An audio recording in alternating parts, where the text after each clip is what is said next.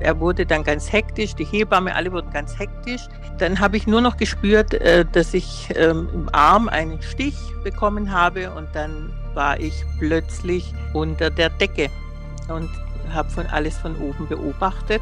Plötzlich ging über mir die Decke auf und ähm, ich wurde da hochgezogen. Ja, es war wie ein Tunnel hochgezogen worden und es war sehr angenehm, es hat mir gut gefallen.